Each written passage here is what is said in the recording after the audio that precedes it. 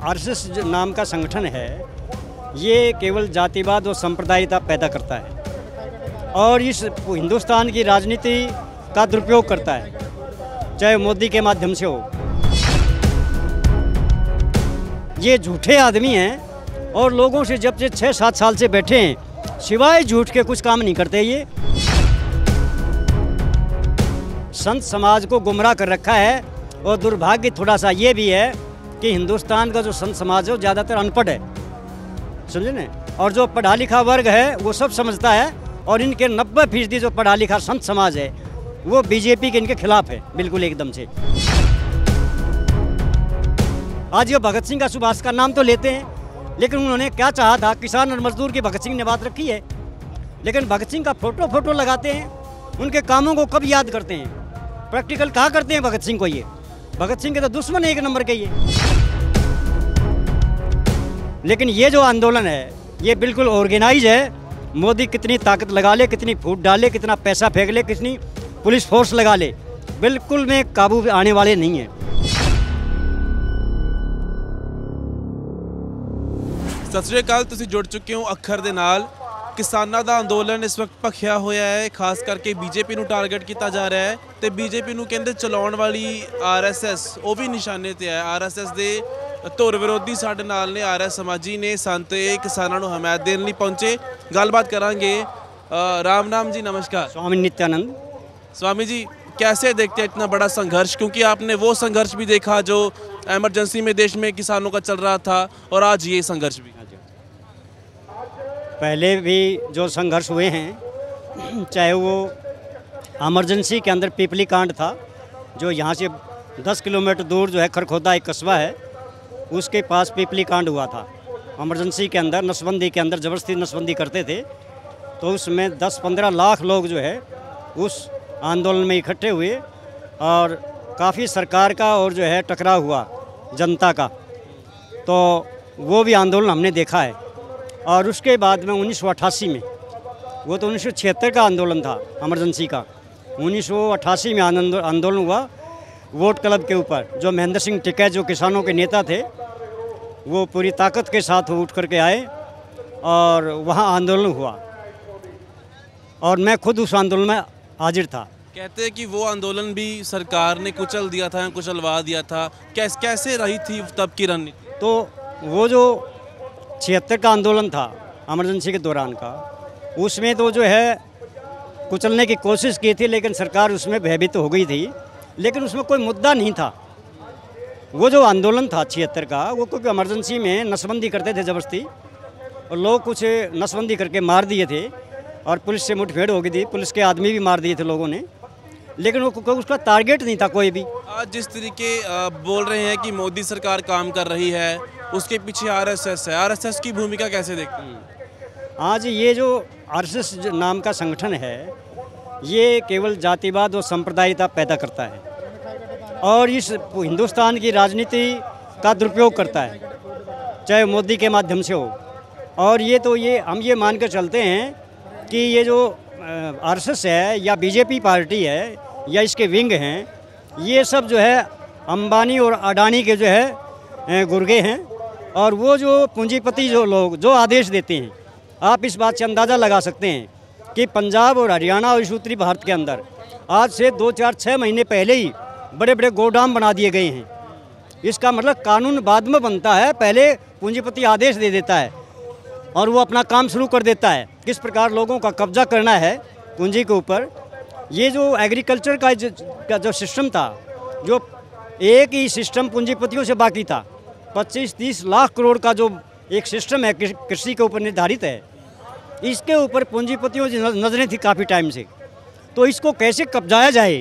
तो ये जो तीन कानून हैं, ये तीन कानून अंबानी और अडानी को फलीभूत करने के लिए सारे हिंदुस्तान की कृषि को अपनी जेब में डालने के लिए, या उससे जो आय हो, वो आम किसान को ना हो, बल्कि सीधी सीधी सारी मोटी मोटी पूंजी वो अंबानी और अडानी के जो हाथों में चली जाए और उसका माध्यम सरकार होती है। बीजेपी ये कहती थी कि 2022 में किसानों की आमदन दोगुनी होगी। किसान खुशहाल होगा लेकिन इन नीतियों का आ जाना कैसे देखते हैं? ये इसलिए देखते हैं कि जो बीजेपी को हो या मोदी को हो ये जो जितने इन्होंने जुमले फेंके हैं ये झूठे आदमी हैं और लोगों से जब से छः सात साल से बैठे हैं सिवाय झूठ के कुछ काम नहीं करते ये। और आप ये देखेंगे पंद्रह लाख देंगे दो लाख को करोड़ दे दो लाख को दो करोड़ को रोज़गार देंगे। और हर व्यक्ति को जो है रोज़गार मिलेगा और कृषि की आय दुगनी करेंगे और जो है क्या नाम है हर आदमी खाते में पंद्रह लाख रुपए आ जाएँगे। एक बड़ी पकड़ संत समाज की है लोगों में खासकर हिंदू वोटर बैंक में। तो जो आप बातें बोल रहे हैं क्या संत समाज ये नहीं समझता? संत समाज बिल्कुल समझता है। संत समाज को गुमराह कर रखा है और दुर्भाग्य थोड़ा सा ये भी है कि हिंदुस्तान का जो संत समाज है वो ज़्यादातर अनपढ़ है। समझे ना? और जो पढ़ा लिखा वर्ग है, वो सब समझता है और इनके नब्बे फ़ीसदी जो पढ़ा लिखा संत समाज है, वो बीजेपी के इनके खिलाफ है, बिल्कुल एकदम से। और आर्य समाज जो संगठन है, सार्वदेशिक प्रतिनिधि सभा, वो तो बिल्कुल शुरू से ही मोदी को पहचानता है। जब से इन्होंने वहाँ फस्तूर मचाया था, लाखों, हज़ारों लोगों को शूट करवाया था गुजरात के अंदर, को जिस आदमी की बानगी पहले देख ली हो, गुजरात के अंदर आकि वो इंसानों का हत्यारा है तो हिंदुस्तान की गद्दी पे बैठ कर क्या करेगा वो? बानगी पहले मिल गई थी उसकी। तो यहाँ भी वही काम शुरू कर दिया उसने। वो छोटे स्तर पर था ये बड़े स्तर के ऊपर क्या किसान इसी इसी तरह दब जाएँगे जिस तरह आप बता रहे हैं कि पहले होता रहा है किसान दबने वाले हैं लग रहा है? वहीं उसी बात पर मैं आ रहा हूँ जो मैंने देखा पहले का जो क्षेत्र का आंदोलन था अट्ठासी का आंदोलन था लेकिन जो वो जो आंदोलन थे वो ऑर्गेनाइज नहीं थे। लेकिन ये जो आंदोलन है ये बिल्कुल ऑर्गेनाइज है।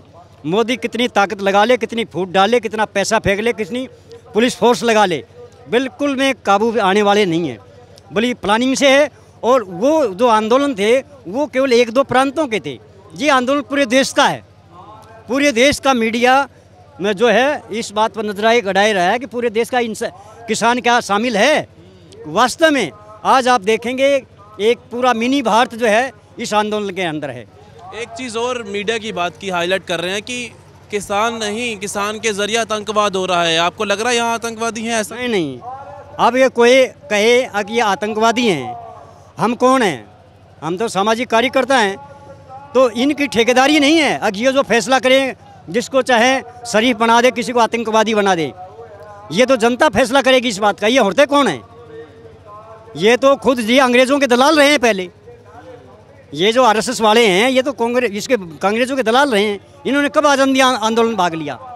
आज ये भगत सिंह का सुभाष का नाम तो लेते हैं, लेकिन उन्होंने क्या चाहा था? किसान और मजदूर की भगत सिंह ने बात रखी है। लेकिन भगत सिंह का फ़ोटो फ़ोटो लगाते हैं, उनके कामों को कब याद करते हैं? प्रैक्टिकल कहाँ करते हैं भगत सिंह को ये? भगत सिंह के तो दुश्मन एक नंबर के ये। तो इसलिए इनकी कथनी और करन- में ज़मीन आसमान का अंतर है। आखिरी सवाल आपसे, इस सारे आंदोलन में पंजाब की भूमिका कैसे देखते हैं? पंजाब की भूमिका एक बड़े भाई की है और ये तो कल जो है पंजाब हरियाणा, पंजाब दो गए थे। लेकिन लेकिन लेकिन सच्चाई ये है कि पंजाब वाक्य में जो है इस आंदोलन के अंदर ऐसी अगवानी करी है पूरे देश की, हरियाणा की नहीं। हरियाणा तो किधर धरती पर आंदोलन चल रहा है। लेकिन पूरे देश का किसान एकजुट करने में और ताकत लगाने में ऑर्गेनाइज सिस्टम बनाने में पंजाब का हम बहुत बड़ा तहे दिल से शुक्रिया करते हैं कि उन्होंने पूरी ताकत से बड़ी प्लानिंग से इस आयोजन आयोजन को किया है। तो इसलिए पूरा देश एकजुट कर दिया। ना किसान आज से पहले कभी एकजुट नहीं हुए थे। ये पहला अवसर है पूरी ताकत झोंक करके पूरे ऑर्गेनाइज तरीके से ये किया है। इस इस आंदोलन की जीत नज़र आ रही है आपको? हंड्रेड परसेंट जीत होगी और कोई ताकत इनको रोक नहीं सकती। चाहे कितनी ताकत लगा ले मोदी या इसकी फोर्स लगा ले चाहे बीजेपी लगा ले और हंड्रेड परसेंट जीत होनी है ये ਬਹੁਤ ਬਹੁਤ ਧੰਨਵਾਦ ਆਪਨੇ ਬਾਤ धन्यवाद ਸੋ ਸੰਤ ਇਹਨਾਂ ਨਾਲ ਗੱਲਬਾਤ ਕਰ ਰਹੇ ਸੀਗੇ ਸਿੱਧੇ ਤੌਰ ਦੇ ਉੱਤੇ ਇਹਨਾਂ ਨੇ ਕਿਹਾ ਹੈ ਕਿ ਮੋਦੀ ਸਰਕਾਰ ਕਿਸਾਨਾਂ ਦੀ ਨਹੀਂ ਸੁਣ ਰਹੀ ਤੇ ਕਿਸਾਨਾਂ ਦਾ ਜਿਹੜਾ ਅੰਦੋਲਨ ਹੈ ਆਪਣੇ ਸਫਲਤਾ ਵੱਲ ਵੱਧ ਰਿਹਾ ਹੈ ਤੇ ਜਿੱਤ ਕੇ ਹੀ ਜਿਹੜਾ ਹੈਗਾ ਇਹ ਰੁਕੇਗਾ ਆਪਣੇ ਸਹਿਯੋਗੀ ਨਵਰੀਤ ਸੀਵਾ ਦੇ ਨਾਲ ਕਰਨ ਸ਼ਰਮਾ ਅੱਖਰ ਦੇ ਲਈ